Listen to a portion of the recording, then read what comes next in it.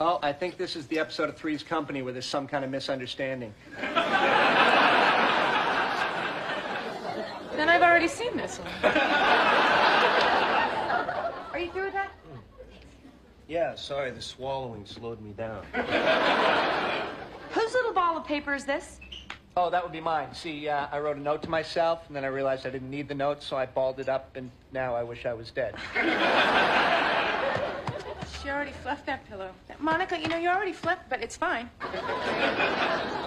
Look, I'm sorry, guys. I just don't want to give them any more ammunition than they already have. Yes, and we all know how cruel a parent can be about the flatness of a child's pillow. Monica. Hi.